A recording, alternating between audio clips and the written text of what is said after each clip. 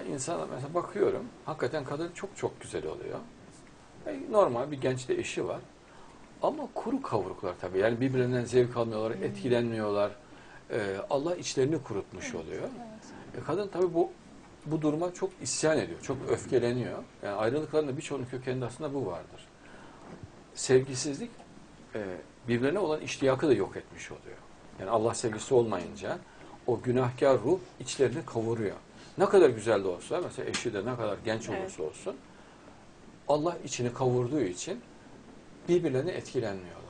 O yüzden mesela güçlü olan, muktedir olan insanlara karşı bir haset ve kıskançlık hissi meydana geliyor.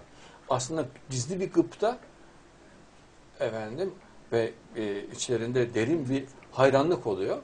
Fakat bunu bambaşka bir dille ifade etmek durumunda kalıyorlar. Yani sanki kızıyormuş gibi bir dille ifade ediyor. Aslında derin bir gıpta ve derin bir hayranlık oluyor.